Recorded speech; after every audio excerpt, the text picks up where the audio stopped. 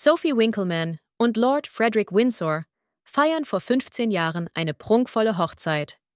Im Hampton Court Palace im Südwesten von London geben sich die beiden das Ja-Wort. Die anschließende Feier findet in der Ormeley Lodge statt, dem Wohnsitz von Lady Annabel Goldsmith.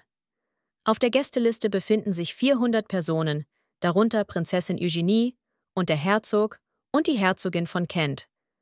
Auch Sophies Halbschwester Claudia Winkleman ist anwesend. In einem Interview gesteht Sophie nun, dass sie kaum jemanden bei ihrer eigenen Hochzeit gekannt habe. Die Hochzeit selbst wird komplett von ihrer Schwiegermutter, Princess Michael of Kent, geplant.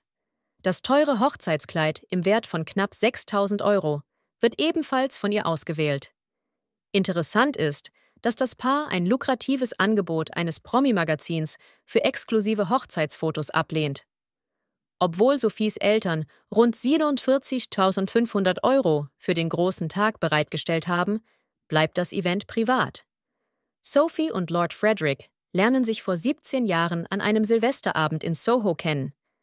Nach der Hochzeit ziehen sie nach Los Angeles, wo Sophie ihre Schauspielkarriere fortsetzt. Sie ist in Serien wie Two and a Half Men und Death in Paradise zu sehen. Lord Frederick arbeitet als Bankmanager bei JP Morgan. Das Paar hat zwei Töchter und lebt mittlerweile wieder in Großbritannien.